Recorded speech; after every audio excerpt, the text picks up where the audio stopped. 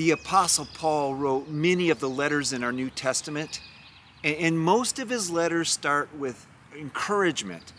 Keep doing these things. God loves you. I'm praying for you. And they often close with instruction. You need to do more of this. Devote yourself to this. Well, I want to read one of those moments, and it's in Colossians chapter 4, verse 2, and then I'll briefly respond to it. Paul writes, Devote yourselves to prayer with an alert mind and a thankful heart. Devote yourselves to prayer.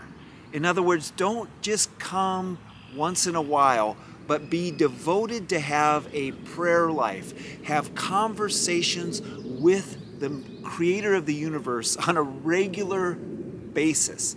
It should be part of our DNA, part of who we become as a Christ follower.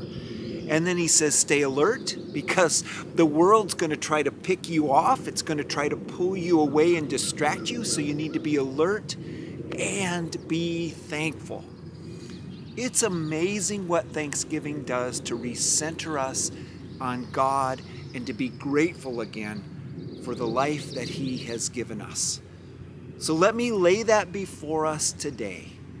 Devote yourselves to prayer. Don't be casual about it, but make it a part of your everyday life. Be thankful in your heart for what God is doing and what He will do in your life. And stay alert so that you can remain centered on the Lord and not get distracted by the ways of this world that tend to pull us and take our eyes off the Lord. So that's our challenge this week. Pray, stay alert, and be thankful. God bless you. So look forward to our next time together. We'll see you soon.